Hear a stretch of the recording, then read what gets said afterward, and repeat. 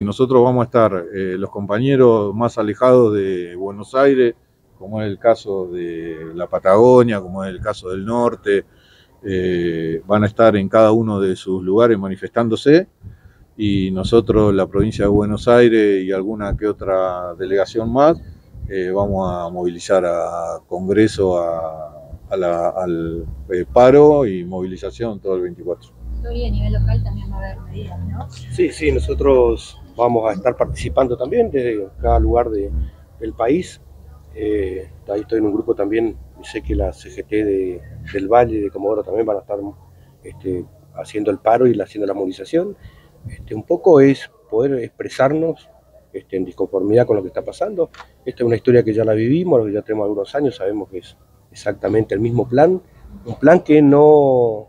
no se impone, sino es con represión, eh, y, la verdad que eh, un poco, eh, creo que más allá de la cuestión económica también está este, puesto, digamos, en, en, la balanza, digamos, la cuestión de la democracia y la república, digamos, Todos, un, decreto, la verdad que nunca visto, tocando muchísimos temas, eh, y la verdad que esta agresividad y, esta poca vocación democrática también se puede ver, así que vamos a expresarnos ese día y, y creo que no va a ser la única digamos, movida que, se va a hacer, me parece que arranca este, todo un periodo de lucha donde vamos a estar, este, donde tenemos que estar, digamos, que es este, en las calles, en los lugares, este, en los espacios públicos, expresando este, nuestra forma de ver. Gracias.